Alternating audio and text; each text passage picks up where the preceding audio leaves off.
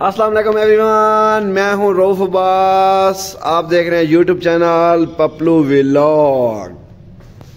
कैसे हैं आप लोग? उम्मीद करता हूँ आप सब बिल्कुल ठीक होंगे।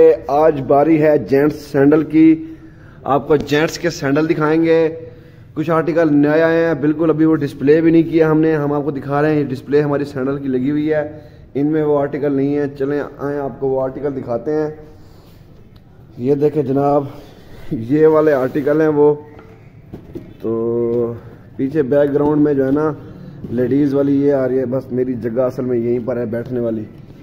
तो मुझे ये जगह अच्छी लगती है तो इसलिए मैं यहीं पे बैठता हूँ। क्योंकि ये कॉर्नर वाली जगह है ना, इधर बिल्कुल एंड पे। उधर देखें, वो जगह है, ये जगह है बैठने की। ठीक हो गया व्यूवर्स तो ये देखें, ये आर्टिकल है और ये डिज़ाइन सैंडल का। बहुत ही ग्रॉसी लुक है इसकी। तो इसकी सिलाई देखें इधर। सिलाई लगी हुई है साइडों से। प्योर लेदर में है ये सैंडल वन ब्रैनर ब्रांड का ये सैंडल है जनाब।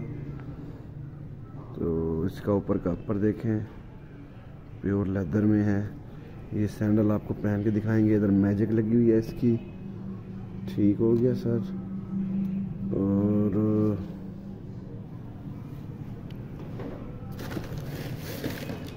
वो ब्राउन है, इसका निकला पड़ा है। देखें ये इसका राइट फुट है। तो अभी इसको आपको पहन के चेक करवाएँगे। प्योर लेदर में ये न्यू आर्टिकल आया है वन ब्रनर का।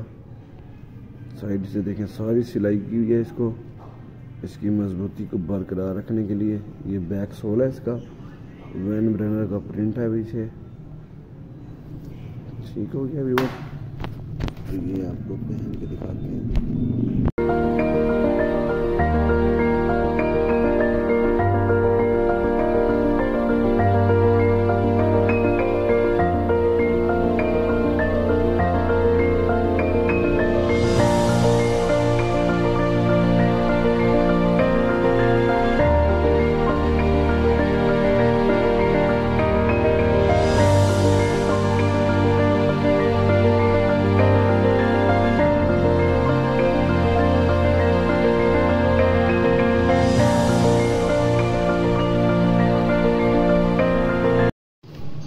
जी तो ये जो है ना ब्राउन कलर है हमारे पास। ब्राउन कलर में देखें, यहाँ पर एक लेदर का एक अलग पीस लगाया हुआ है। इसकी लुक को जो है ना, चार चाँद लगाने के लिए। तो ये अभी गत्ता निकाल के दिखाते हैं हाँ जी। तो ये कुछ लुक है इसकी, इस तरह से। बहुत ही कवर सैंडल है ये।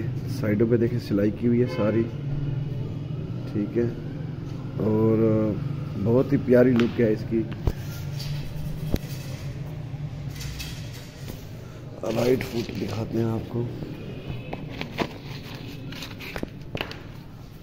ठीक हो गया। ये देखें, इसका इस साइड पे बना हुआ है ये। लेदर का पीस लगा हुआ है अलग से।